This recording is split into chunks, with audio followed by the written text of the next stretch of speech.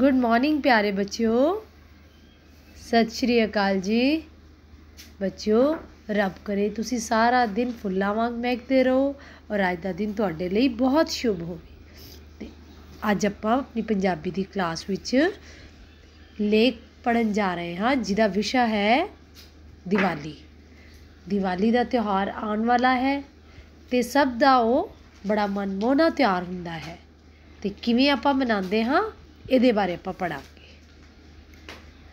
ਦੀਵਾਲੀ ਭਾਰਤ ਦਾ ਪ੍ਰਸਿੱਧ ਤਿਉਹਾਰ ਹੈ। ਬੱਚਿਓ, ਤੁਸੀਂ ਪਹਿਲੇ ਕਾਪੀ ਵਿੱਚ ਬੜੇ ਸੋਹਣੇ ਤਰੀਕੇ ਨਾਲ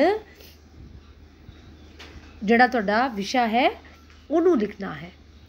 ਤੇ ਇੱਕ ਸੋਹਣਾ ਜਿਹਾ ਚਿੱਤਰ ਵੀ ਤੁਸੀਂ ਛਾਪ ਸਕਦੇ ਹੋ ਜਾਂ ਉਹਦੇ 'ਚ ਕੋਈ ਚਿੱਤਰ ਨੂੰ ਤੁਸੀਂ ਚਿਪਕਾ ਵੀ ਸਕਦੇ ਹੋ ਜਾਂ ਬਣਾ ਸਕਦੇ ਹੋ। ਦੀਵਾਲੀ ਤੋਂ ਆਧਾਰਿਤ ਚਿੱਤਰ ਹੋਣਾ ਚਾਹੀਦਾ ਹੈ। ਇਹ ਦੁਸਹਿਰੇ ਤੋਂ ਵੀਹ ਦਿਨ ਬਾਅਦ ਆਉਂਦੀ ਹੈ। ਜਿਵੇਂ ਕਿ ਆਪਾਂ ਸਾਰੇ ਜਾਣਦੇ ਹਾਂ, ਦੀਵਾਲੀ ਦੁਸਹਿਰੇ ਤੋਂ ਬਾਅਦ ਵੀਹ ਦਿਨਾਂ ਬਾਅਦ ਆਉਂਦੀ ਹੈ। ਇਸ ਦਿਨ ਸ਼੍ਰੀ ਰਾਮ ਚੰਦਰ ਜੀ ਅਯੋਧਿਆ ਵਾਪਸ ਪਰਤੇ ਸਨ। ਮਤਲਬ ਕਿ ਵਾਪਸ ਆਏ ਸਨ। ਲੋਕ ਆਪਣੇ ਘਰਾਂ ਤੇ ਦੁਕਾਨਾਂ ਨੂੰ ਸਜਾਉਂਦੇ ਹਨ। ਜਿਵੇਂ ਕਿ ਆਪਾਂ ਸਾਰੇ ਜਾਣਦੇ ਹਾਂ ਕਿ ਇਸ ਦਿਨ ਆਪਣੇ ਘਰਾਂ ਨੂੰ ਅਸੀਂ ਔਰ ਆਪਣੀਆਂ ਦੁਕਾਨਾਂ ਨੂੰ ਸਜਾਉਂਦੇ ਹਾਂ। ਪੰਜਵੀਂ ਲਾਈਨ, ਲੋਕ ਇੱਕ ਦੂਜੇ ਨੂੰ ਤੋਹਫੇ ਵੀ ਦਿੰਦੇ ਹਨ। ਰਾਤ ਨੂੰ ਲక్ష్ਮੀ ਮਾਤਾ ਦੀ ਪੂਜਾ ਕੀਤੀ ਜਾਂਦੀ ਹੈ। ਸਭ ਪਾਸੇ ਦੀਪਮਾਲਾ ਕੀਤੀ ਜਾਂਦੀ ਹੈ। ਉਸ ਤੋਂ ਬਾਅਦ ਪਟਾਕੇ ਵੀ ਜਲਾਏ ਜਾਂਦੇ ਹਨ।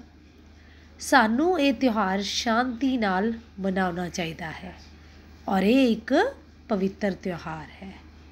ਬੱਚਿਓ, ਇਹ ਹੋਇਆ ਦੀਵਾਲੀ ਦਾ ਤਿਉਹਾਰ ਅਤੇ ਤੁਸੀਂ ਇਸ ਨੂੰ ਆਪਣੀ ਕਾਪੀ ਵਿੱਚ ਲਿਖਣਾ ਹੈ 10 ਲਾਈਨਾਂ ਨੂੰ ਔਰ ਸੋਹਣਾ ਜਿਹਾ ਦੀਵਾਲੀ ਤੋਂ ਕੋਈ ਚੰਗਾ ਜਿਹਾ ਦੀਵਾਲੀ ਦਾ ਚਿੱਤਰ ਵੀ ਤੁਸੀਂ ਬਣਾਉਣਾ ਹੈ। ਅਤੇ ਧੰਨਵਾਦ ਪਿਆਰੇ ਬੱਚਿਓ।